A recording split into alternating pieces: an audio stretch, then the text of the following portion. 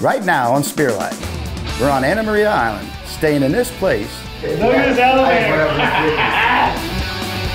chasing this fish, African Pompano! and celebrating this guy's birthday. Yes! What's up?